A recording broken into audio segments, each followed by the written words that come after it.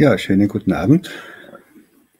Ähm, ich möchte Ihnen heute die veränderlichen Sterne ein wenig näher bringen und wie man sie halt auch beobachten kann. Also äh, mein Vortrag gliedert sich in zwei Teile. Ein bisschen etwas, was sind denn veränderliche Sterne und dann auch etwas, was kann man so als Amateurastronom oder als Sterngucker äh, denn da beobachten. Was sieht man denn da bei den veränderlichen Sternen? Äh, mein Name ist Wolfgang Vollmann. Ich arbeite unter anderem bei der Deutschen Arbeitsgemeinschaft für veränderliche Sterne, der BAV, mit. Ja, und seit vielen, vielen Jahren interessieren mich diese veränderlichen. Und ja, deshalb möchte ich heute mal einen kurzen Vortrag darüber halten. Ja, wie hat das Ganze denn eigentlich angefangen? Im Altertum hat man sich den Himmel als unveränderlich vorgestellt. Also da gab es die Sphäre der Fixsterne, wo sich also nichts getan hat. Die Sterne, die sind irgendwie festgeklebt gewesen. Ja, und ähm, natürlich ist es dann besonders merkwürdig, wenn da ein Stern auf einmal sichtbar ist, der vorher nicht dort sichtbar war. Und das ist also dem berühmten Astronomen Hipparchus äh, so gegangen. Der ähm, hat also sogar den, einen ersten systematischen Sternkatalog äh, erstellt, weil er halt einmal so einen neuen Stern, also einen Stern, den er vorher noch nie gesehen hatte, äh, bemerkt hat. Und natürlich ohne einen genauen Katalog und einer Karte ja, lässt sich das Ganze nicht wirklich nachvollziehen.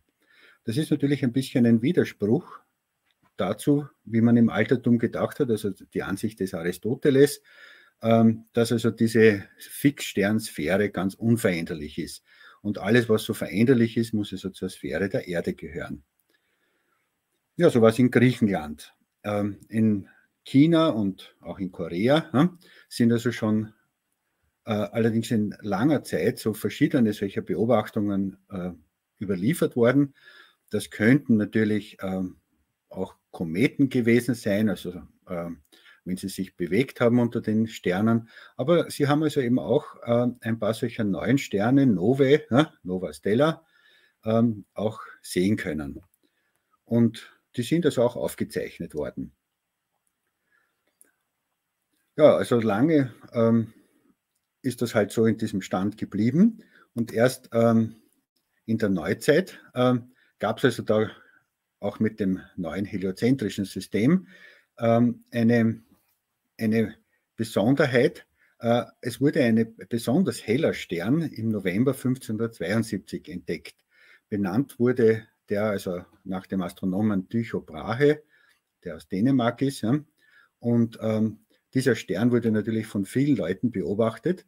Äh, hier wird des Himmels weh, hier natürlich jetzt ähm, als, ähm, als äh, Himmels M zu sehen, links oben auf dem Bild und darunter ein besonders heller Stern, der halt ähm, extrem leuchtkräftig war. Im Maximum ist er so hell geworden wie die Venus. Ne? Also das ist schon sehr, sehr auffällig. Er war dann eine ganze Weile, also über ein halbes Jahr lang, weiter noch auffällig zu sehen, also so wie die fünf Sterne des Himmels weh, der Cassiopeia. Und dann ist also diese Nova immer schwächer geworden und war also doch über ein Jahr mit freiem Auge zu sehen. Und da sieht man auch schon, äh, wie man also solche Helligkeiten von Sternen ähm, bestimmen kann und wie das damals also auch passiert ist. Man vergleicht sie mit äh, Objekten, von denen man die Helligkeit weiß. Also zum Beispiel etwas heller als Jupiter oder so hell wie Venus oder so hell wie ein bestimmter anderer Stern. Und wenn man halt äh, auf diese Art gute Regeln beziehungsweise gute Eichsterne, Vergleichssterne hat, kann man da ganz gut ähm, auch die Helligkeit jeweils angeben.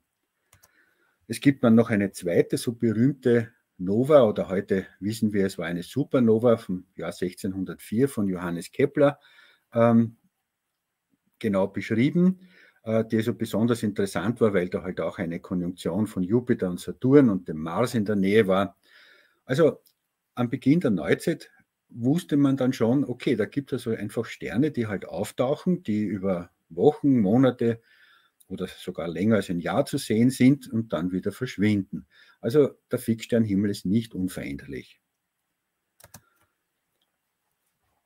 Ähm, heute gibt es natürlich immer noch solche Erscheinungen, nicht so hell, wie die beiden, die Brahe bzw. Kepler beschrieben haben, aber zum Beispiel vor ähm, doch jetzt mittlerweile, muss man nachrechnen, 5, 47 Jahren, ja, ist also im Sternbild Schwan eine Nova aufgetaucht, die Nova Cygni im Jahr 1975, an die ich mich noch als sehr, sehr junger Sterngucker erinnern kann hm, und die mich also damals stark beeindruckt hat.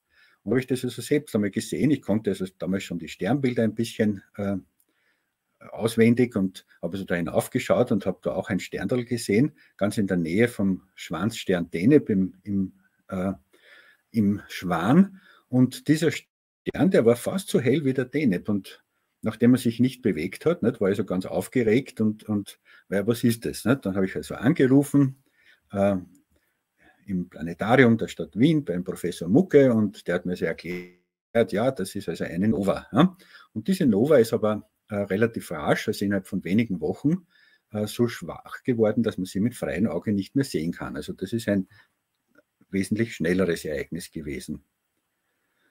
Und voriges Jahr zum Beispiel konnten wir ähm, auch wieder eine Nova mit freiem Auge sehen, die also nicht ganz so hell war, aber sie war doch, wenn man wusste, wo sie ist, also sie ist hier auf dem Bild äh, eingeringelt, ähm, wenn man wusste, wo sie ist, war sie durchaus eindeutig sichtbar. Ähm, es ist sogar eine besondere Nova gewesen. Ähm, diese Nova, die sieht man also alle 15 Jahre im, im Durchschnitt. Ja. Also es gibt durchaus auch solche neuen Sterne, die wiederholt zu sehen sind. In dem Fall allerdings ohne irgendeine Periode. Nicht? Also das kann einmal 10 Jahre dauern, einmal 15, einmal 20, ja. bis also diese Nova wieder aufleuchtet und dann einige Tage bzw. wenige Wochen äh, im Fernrohr dann zu sehen ist. Was sind denn solche Novae bzw. Supernovae? Ähm, man unterscheidet also diese Nova oder Supernova äh, Bezeichnungen erst seit knapp 100 Jahren. Es sind also unterschiedliche physikalische Prozesse dahinter. Bei einer Nova, ja, die also äh, weiß man heute, dass das also äh, ein Helligkeitsausbruch, eine, eine thermonukleare Explosion auf der Oberfläche eines weißen Zwergsterns, eines ganz kleinen, einer ganz kleinen Sternleiche ähm, stattfindet. Und der hat also von einem, einem, sehr nahen Begleiter, einem mehr oder weniger normalen Stern, Materie aufgesammelt. Ja, und äh, eigentlich überstehen die beiden Sterne diesen Nova-Ausbruch. Der kann sich also auch wiederholen.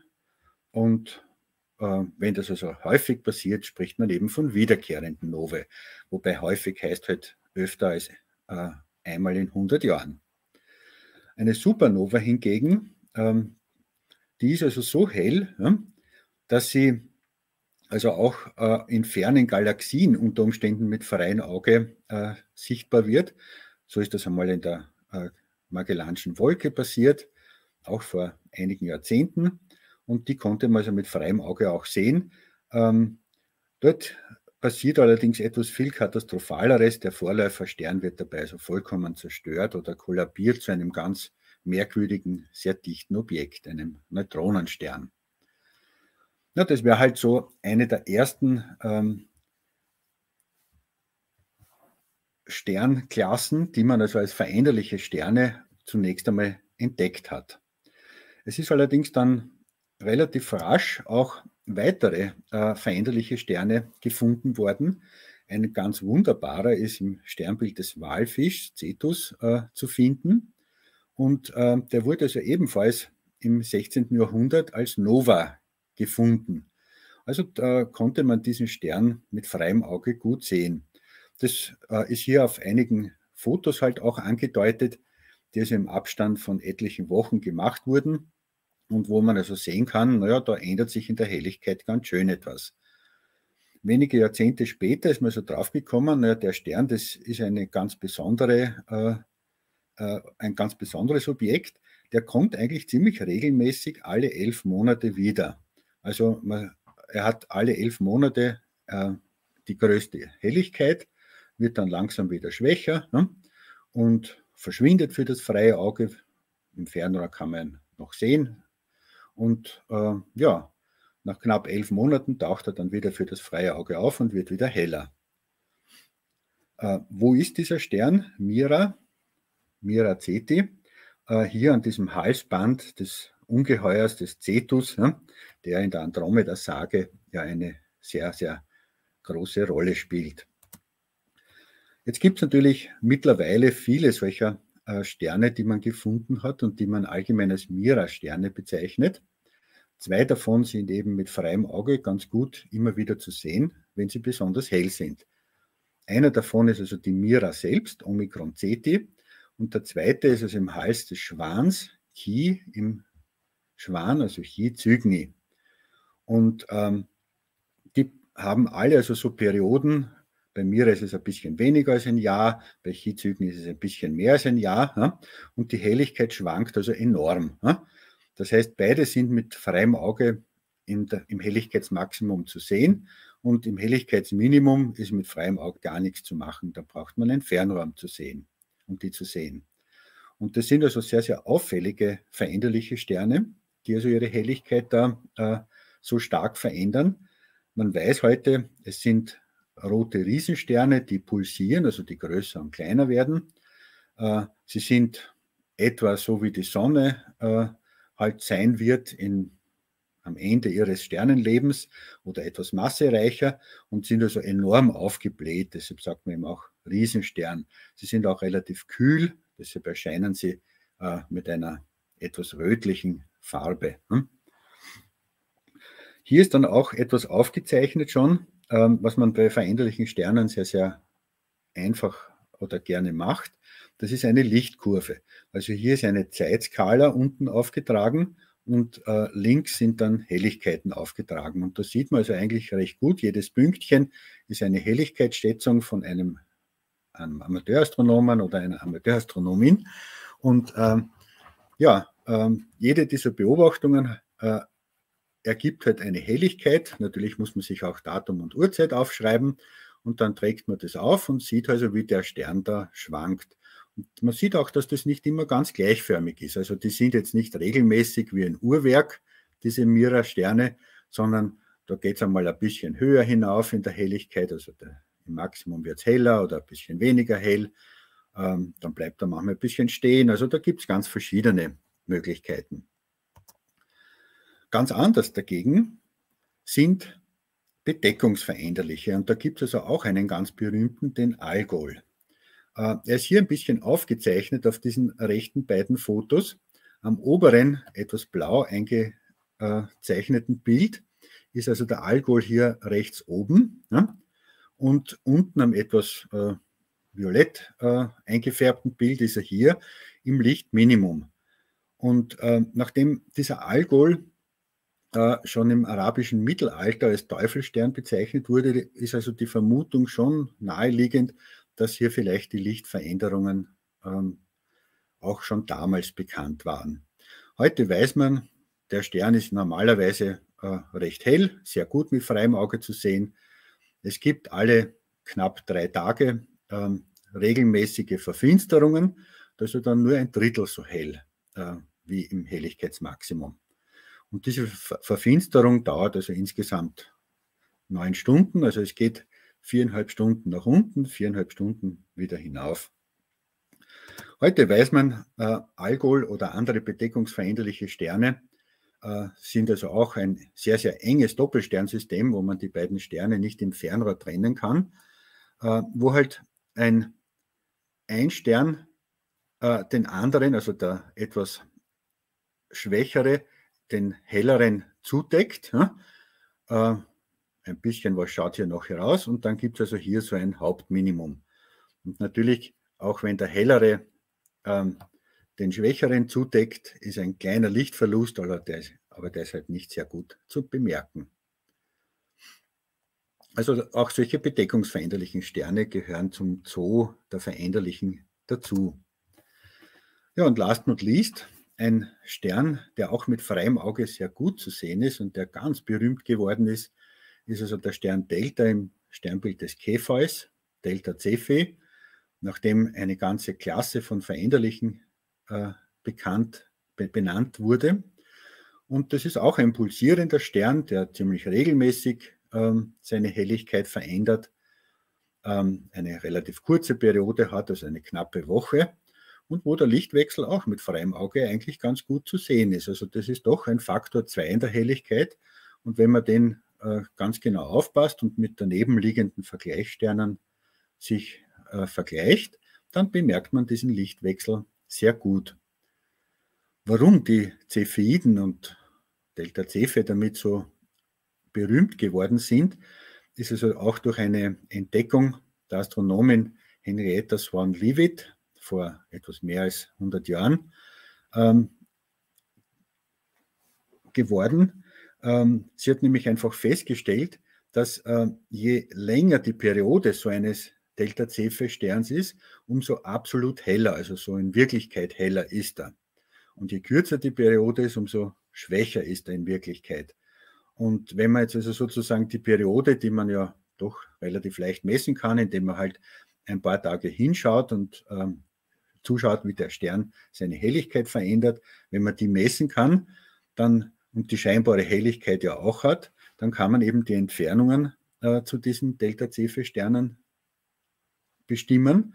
Und das ist also eine der Möglichkeiten, um Entfernungen zu anderen Galaxien äh, zu finden. Also ein ganz wichtiger Punkt äh, auf der Entfernungsleiter. Gut. Ähm, veränderliche Sterne gibt es sehr viele. Ein paar äh, wesentliche habe ich jetzt einmal vorgestellt, also dass es eben pulsierende Veränderliche gibt, so wie die Delta-Cephe-Sterne, die Mira-Sterne, dass es bedeckungsveränderliche Sterne wie den Algol gibt. Dann gibt es noch ganz besondere Exemplare, die zum Beispiel einen Sternfleck haben und sich drehen. Der Sternfleck ist also sehr groß und damit wechselt die Helligkeit ein bisschen. Dann wissen wir, es gibt diese Nove und Supernove, die also auch als kataklysmische Veränderliche bezeichnet werden, weil es also doch ziemlich katastrophale Ereignisse sind. Ne? Und jede Menge andere auch noch. Also es gibt einen richtigen äh, Zoo von Veränderlichen. Ähm, es sind also auch viele, viele äh, Millionen solcher Sterne bereits katalogisiert.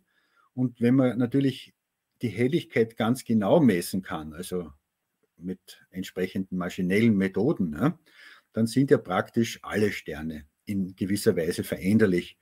Denn ja, unsere Sonne, ja, die eigentlich sehr konstant scheint, hat ja auch Sonnenflecken und dreht sich. Also ein kleines bisschen ändert sie ihre Helligkeit doch.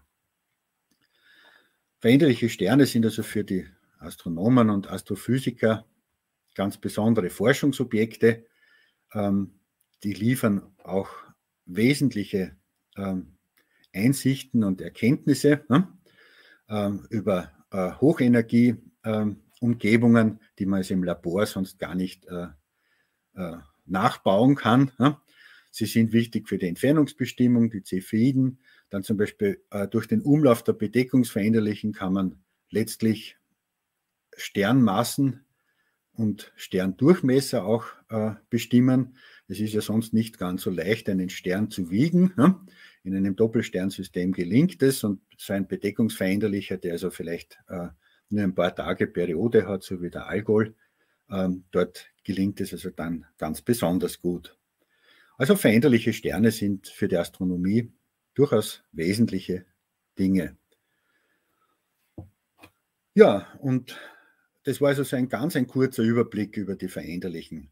Jetzt ist natürlich die große Frage, hm, ich bin ja eigentlich kein Astronom, also kein äh, bezahlter Astronom, sondern äh, ein, ein Amateurastronom, ein, ein Liebhaberastronom. Und äh, interessanterweise, die veränderlichen Sterne, die also, wurden also schon vor äh, fast 200 Jahren ähm, äh, als, als Möglichkeit benutzt, dass halt ähm, Liebhaber der Sternenkunde, also äh, Freunde der Astronomie, selbst etwas beitragen können äh, zur Erforschung. Äh, heute gibt es also dieses schöne Wort Citizen Science, also Bürgerwissenschaft. Äh, aber angefangen hat das Ganze äh, vor knapp 200 Jahren mit einem Aufruf von einem Bonner Astronomen, Friedrich Wilhelm Agelander, Damals waren nur 18 solcher veränderlichen Sterne bekannt und der hat also einen Aufruf geschrieben, sie mögen doch beobachtet werden, um äh, etwas über diese Sterne herauszufinden. Und das wurde tatsächlich auch gemacht von sehr, sehr vielen äh, Sternfreunden. Und äh, man hat also dann auch festgestellt, naja, einer allein äh, ist natürlich ein bisschen äh, schwierig, das Ganze durchzuführen. Na klar, jetzt ist es einmal äh, zwei Wochen bewölkt, dann kann man also diese, einen Stern, den man sich hier anschaut, nicht sehen. Außerdem wurden immer mehr solcher Veränderlichen entdeckt. Also äh, das ist natürlich viel zu viel für einen einzigen äh, Beobachter. Und deshalb hat es dann schon sehr, sehr bald ähm, Vereinigungen gegeben, die gegründet wurden. Hm? Ähm, einige davon habe ich hier aufgeschrieben, die haben also auch eine entsprechende äh, Webseite. Ähm, hier in Deutschland ist es am Wesentlichen die BAV, hm? die also auch schon seit über 70 Jahren besteht ähm, als Arbeitsgemeinschaft für veränderliche Sterne und die also sehr, sehr viele Beobachter hat und auch äh, weitere Astronomen, die also sich mit den veränderlichen Sternen hier sehr gerne befassen. Ja, und mir macht es halt auch jetzt seit äh, sehr, sehr vielen Jahrzehnten Spaß. Es ist einfach eine Liebhaberei natürlich. Ne? Und ähm, es macht aber auch einen gewissen Sinn, ähm, auch die Helligkeit solcher Veränderlichen zu beobachten. Warum? Äh, Sterne entwickeln sich ja und äh, es bleibt ja nicht immer gleich. Also beispielsweise, jeder hat vielleicht schon einmal gelesen oder gehört, ja, die Sonne, die wird auch einmal ihren Kernbrennstoff im Inneren äh, aufbrauchen, wird ein roter Riese werden und, und also da ändert sich etwas. Das geht natürlich über extrem lange Zeiträume. Und äh, es gibt aber natürlich jetzt über manche dieser Sterne schon äh, Beobachtungsreihen über mehr als 100 Jahre.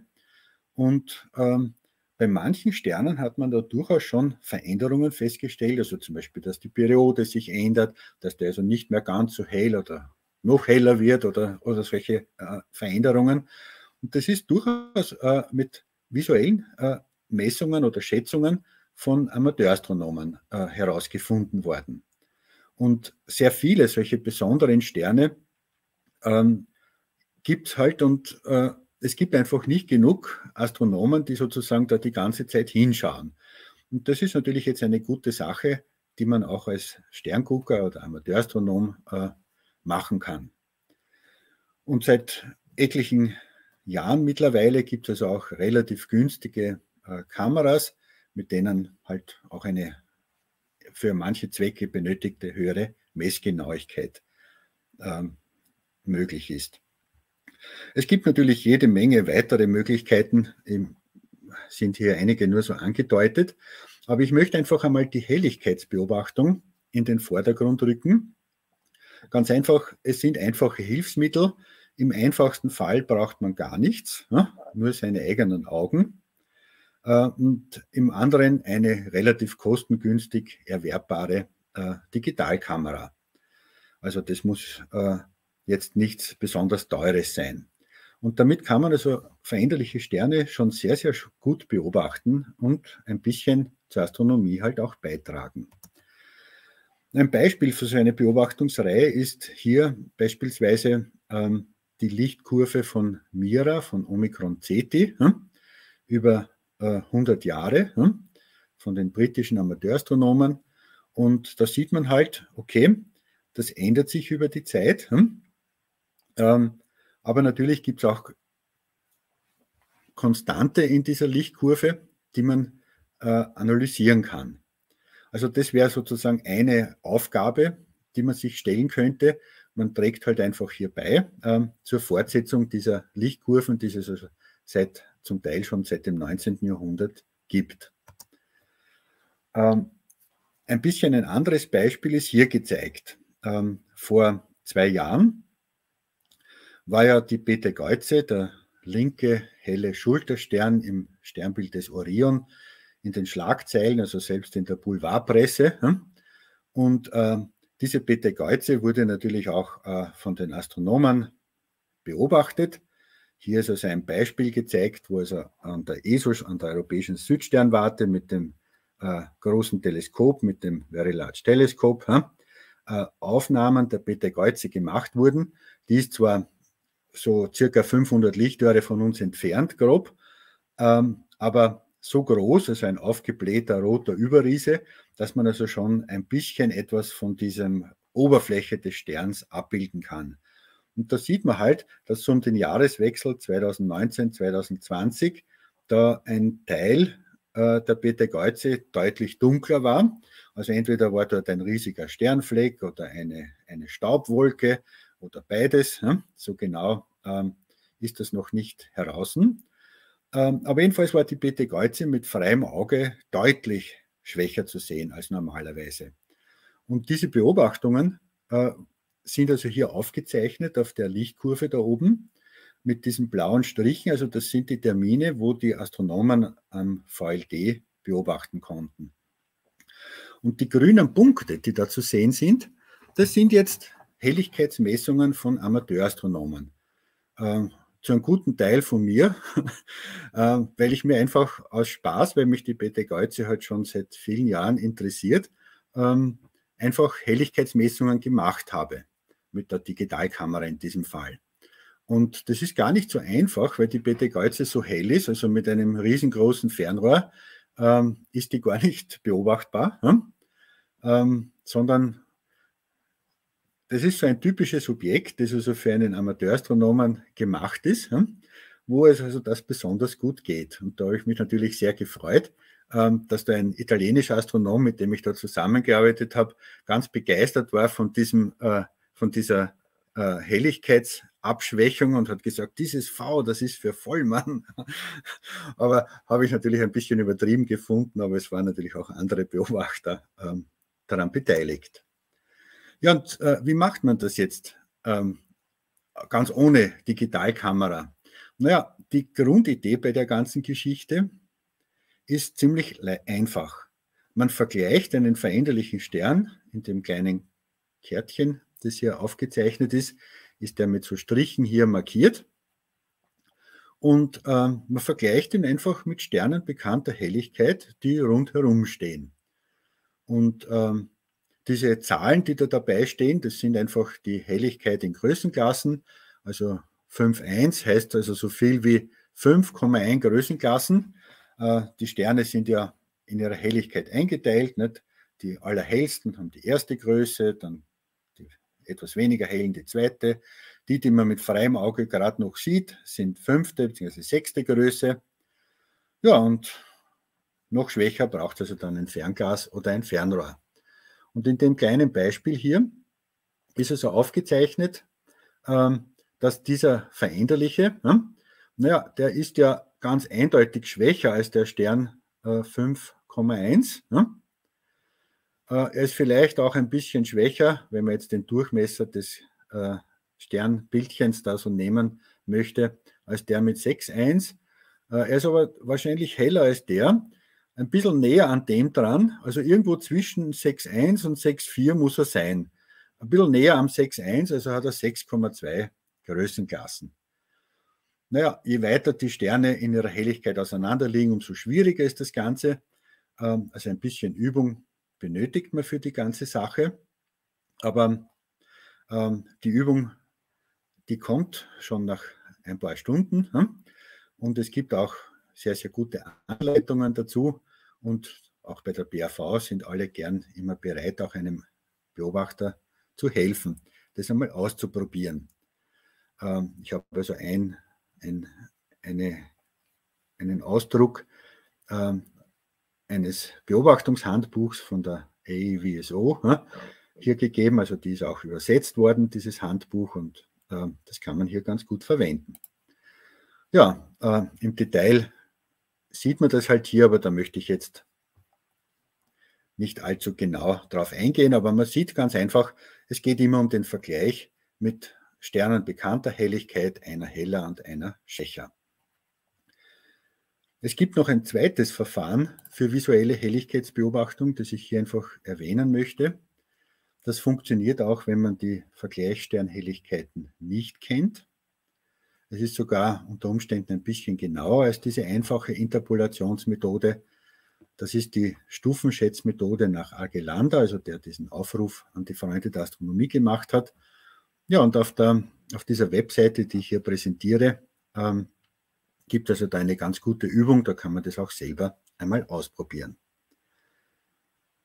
Das wäre also die visuelle Beobachtung. Und ähm, es ist viel einfacher am Himmel als hier beispielsweise ähm, auf dem Computerbildschirm, wo also sozusagen, ich habe mich hier bemüht, ähm, zwei Aufnahmen von Algol, also der hier bzw. hier zu sehen ist, ähm, einmal nebeneinander zu stellen. Ähm, aber es ist einfach am Himmel leichter als auf einem flachen Computerbildschirm solche Helligkeiten zu schätzen. Ja, man erhält dann beispielsweise für Alkohol so eine Lichtkurve, die ich einmal vor einigen Jahren beobachtet habe. Also eine Verfinsterung des Bedeckungsveränderlichen. Ja, wer es nicht mit freiem Auge probieren möchte, ähm, kann das natürlich auch mit dem Fernrohr tun. Das muss kein tolles, teures, computergesteuertes äh, Fernrohr sein. Ähm, einfach sind so äh, sogenannte Dobson-Fernrohre, also die sehr einfach gebaut sind. Äh, bei dem rechten, mit dem habe ich jetzt auch sehr viel beobachtet, ist also mein ältester Sohn zu sehen, also noch klein war, also da ist er noch nicht ganz hinaufgekommen.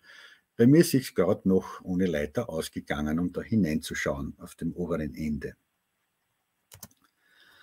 Gut, ähm, wenn jetzt für manche Aufgaben die Genauigkeit solcher visuellen Helligkeitsmessungen nicht ausreicht, für manche Sachen reicht sie vollkommen, dann kann man eben auch mit einer ganz normalen Digitalkamera Helligkeiten messen. Und das mache ich eben auch. Ähm, man kann natürlich so eine Digitalkamera auch hinter ein Fernrohr geben. Es gibt auch viele Leute, die das machen. Aber ich mache für die hellen Sterne es ganz einfach. Die Kamera wird einfach auf ein Fotostativ gesetzt ähm, mit einem ganz normalen Objektiv. Hm?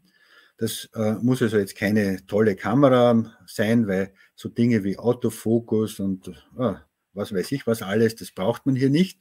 Weil man stellt ja eher ein bisschen scharf oder wir werden sehen, auch ein wenig unscharf. Hm? Das Einzige ist, dass man halt Zeitbelichtungen machen kann von 10 Sekunden in dieser Größenordnung, hm? dass man ähm, eine entsprechende, ein entsprechendes Objektiv hat. Ähm, und funktionieren tut das Ganze einfach ähm, in einer ganz handelsüblichen äh, Digitalkamera so. Da gibt es halt einen lichtempfindlichen Chip hm? und äh, die Linse macht halt natürlich darauf ein Bild und dieser Chip ist heutzutage ein sogenannter CMOS-Chip. Und auf jedem Pixel, also auf jedem Bildelement, ist ein kleiner Filter aufgebracht, ein roter, ein grüner und ein blauer. Hm? Denn äh, solche Digitalkameras sind per se einfach Schwarz-Weiß-Kameras. Also ohne diese Farbfilter könnten wir damit keine Farbfotos machen. Und jetzt ist es halt so, bei so einer Digitalkamera, ähm, man, äh, bei den Digitalkameras hat man also so eine, eine, eine Struktur, dass man also die grünen Pixel, von denen es doppelt so viele gibt wie die roten und die blauen, in so einem Muster hier anordnet und dazwischen gibt es also immer rote bzw. blaue, blau empfindliche Pixel. Das heißt, äh, wenn man per Computerprogramm diese Pixel dann herausholt, aus so einem Rohbild, hm? ähm, dann gibt es da natürlich jetzt immer da so Löcher da drinnen. Hm?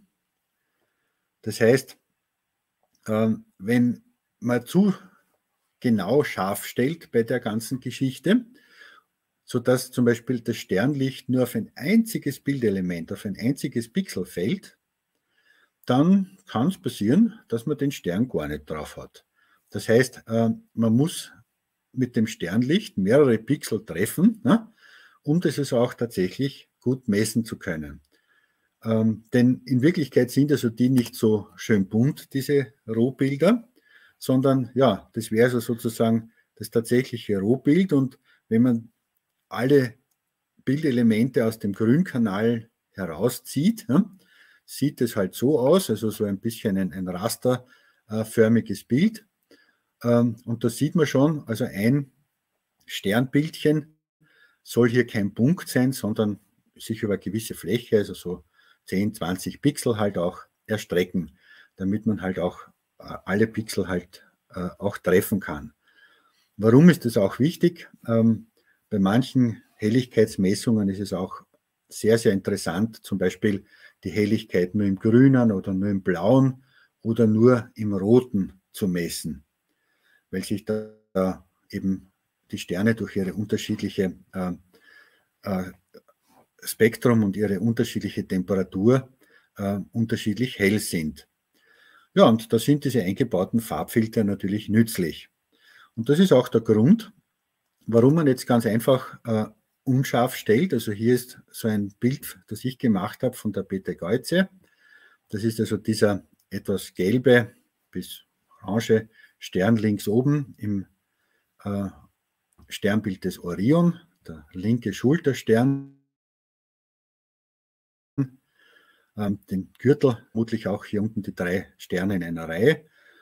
Ja, und Peter Geuze ist also normalerweise heller als dieser Stern rechts an der Schulter, Bellatrix. Und ähm, zu ihrem großen Minimum, da vor zwei Jahren, war sie also etwa gleich schwach wie der. Ne? Man sieht schon, die Farbe stört hier ein bisschen bei dem Helligkeitsvergleich, ähm, aber für die Kamera ist das also kein Problem, weil Peter Geutz also tatsächlich ein roter Überriese ist. Ja, und wie macht man das dann tatsächlich? Naja, ähm, mit Software, mit Computerprogrammen. Es gibt eine Reihe von Computerprogrammen, die also kostenlos sind. Also da muss man sich sehr, sehr herzlich bei den Autoren bedanken, dass die das also möglich machen. Ähm, man misst also die Helligkeit des Sterns, indem man äh, mit der Software das Sternbildchen, das hier auch etwas unscharf eingestellt ist, auf dem Foto ähm, hernimmt ja, und rundherum noch zwei Kreise um den Himmelshintergrund dahinter, der auch ein bisschen aufgehellt ist.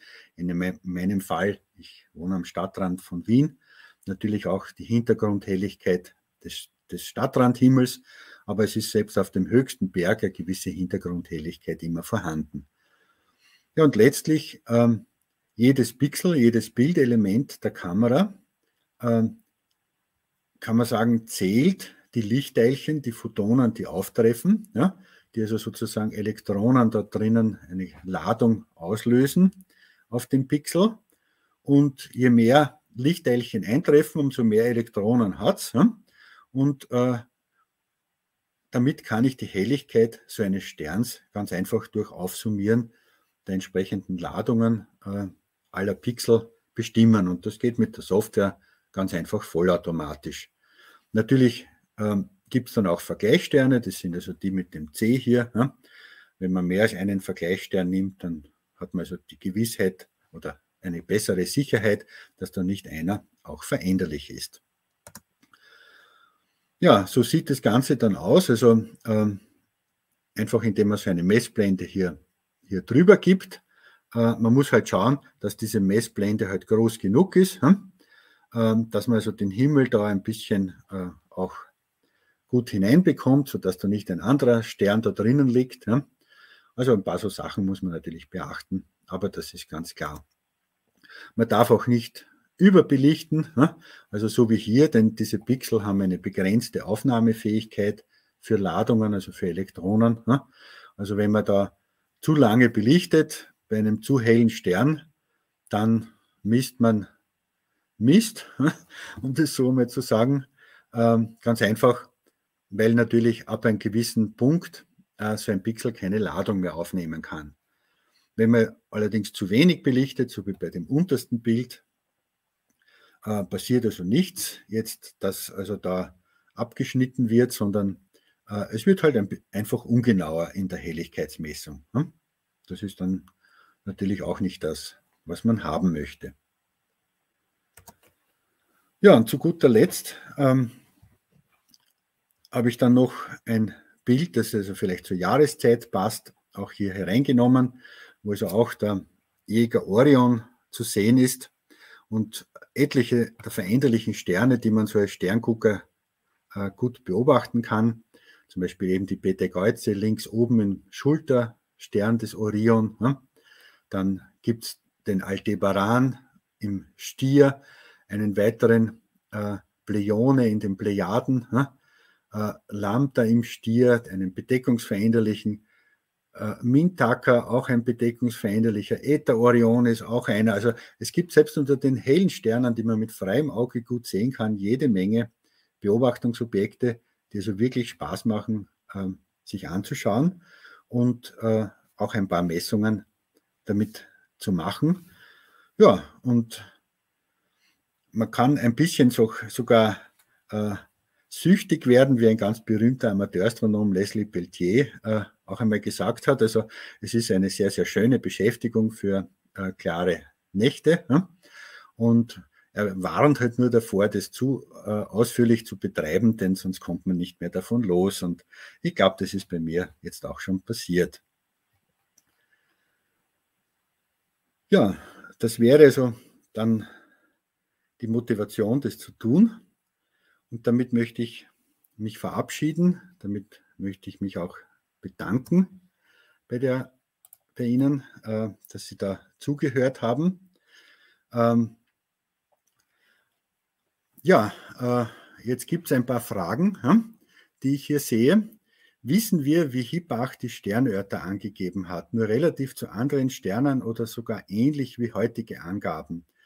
Naja, er hat also schon ähm, ekliptikale Längen und Breiten, beziehungsweise, also er hat Längen und Breitenangaben äh, gemessen. Ähm, natürlich ist es eine Relativmessung auch gewesen, aber es ist eigentlich ähnlich, wie es heute ist. Und ähm, Hibbach hat das so gut gekonnt, dass damit auch sogar die Präzision äh, der Erdachse entdeckt wurde.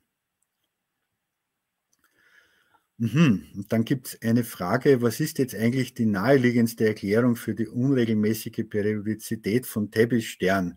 Also da muss ich jetzt passen. Ich habe zwar von diesem Stern gehört, aber eine Erklärung dafür kann ich nicht geben. Okay, dann eine Frage, wie bedingt die Temperatur eines Sterns seine überwiegende Lichtfarbe? Naja, ähm, wenn man ein, einen Eisenstück erhitzt, ja, äh, na, ab so 1000 Grad wird es also dunkelrot glühend. Ja. Äh, mit 2000 Grad ist es dann schon ziemlich weiß glühend, ja, bis dann halt äh, immer, immer heller wird. Und ganz ähnlich ist es bei Sternen. Also je äh, höher die Temperatur, umso mehr strahlt ein Stern im blauen Spektralbereich und je niedriger die Temperatur ist, umso mehr strahlt er im, im roten Spektralbereich. Und damit hat man auch eine Farbe.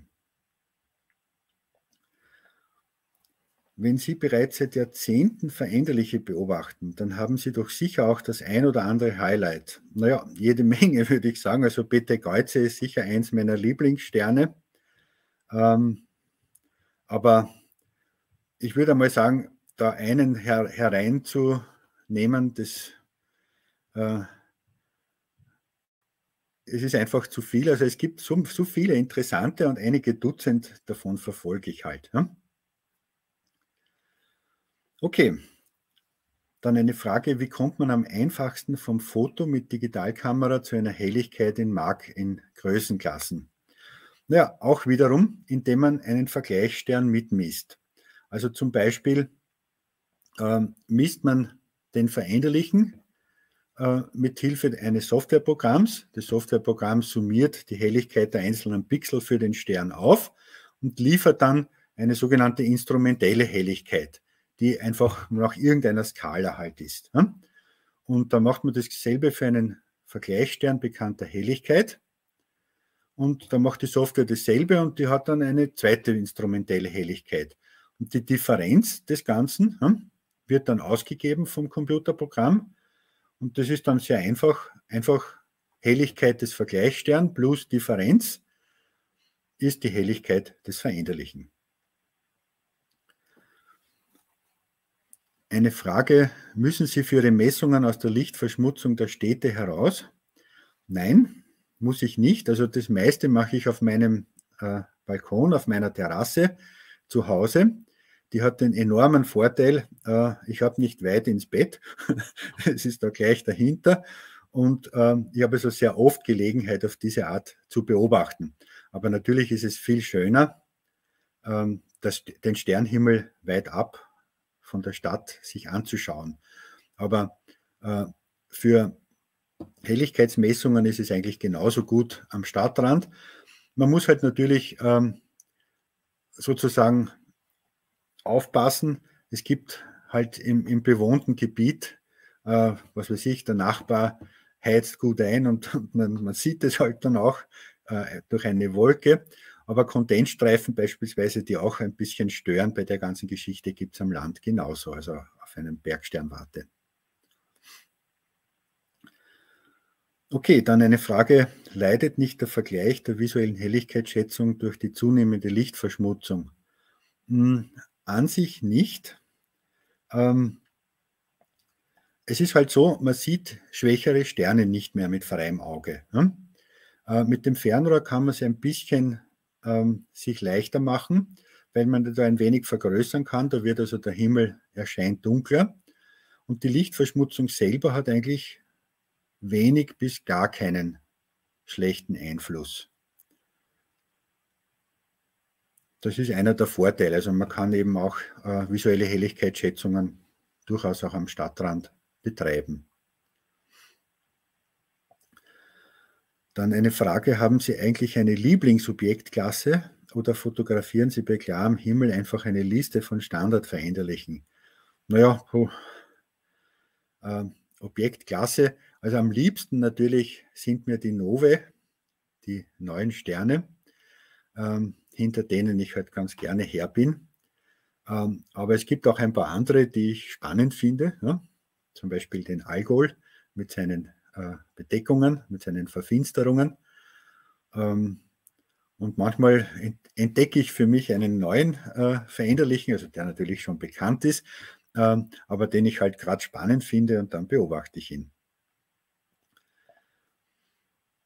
Nächste Frage.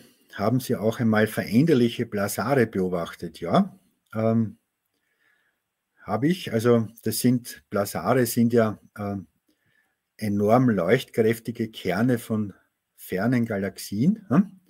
Äh, man nimmt heute an, dass es, es gibt dort ein sehr, sehr großes und sehr massereiches schwarzes Loch da drinnen, in das halt was reinfällt.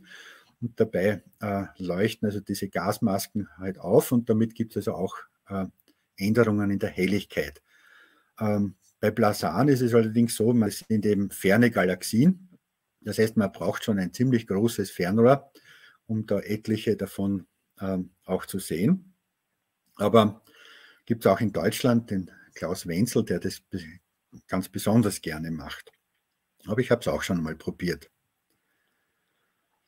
Dann die Frage, wenn man seine Astrofotos deckt, sind sie dann für Helligkeitsmessungen unbrauchbar?